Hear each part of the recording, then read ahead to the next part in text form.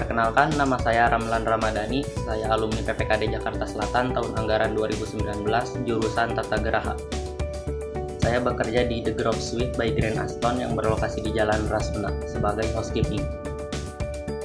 Sehari-hari saya bertugas di sini untuk menjaga, merawat, serta membersihkan kamar maupun area luar kamar.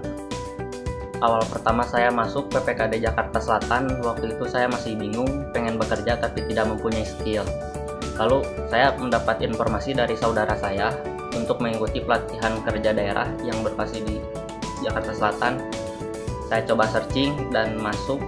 Alhamdulillah saya ikut, keterima juga situ.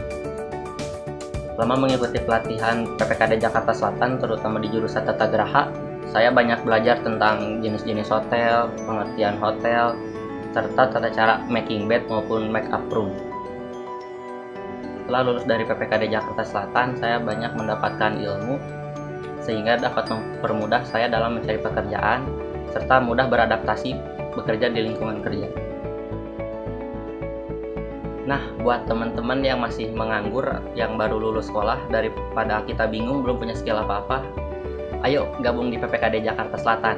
Di sana kita akan mendapat banyak pelatihan yang sesuai dengan passion kita.